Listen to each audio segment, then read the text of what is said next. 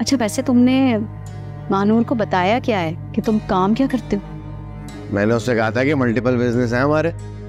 कोई बड़े पैमाने पर नहीं है। ये तुमने बहुत अच्छा किया फुरकान।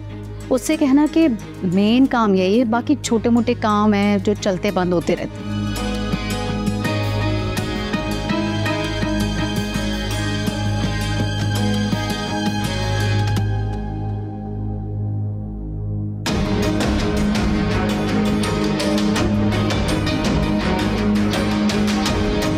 तुम बोल रही हो।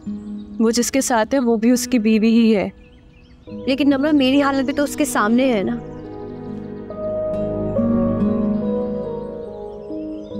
तो शुक्र है कि मैंने अपनी बहन को कुछ नहीं बताया।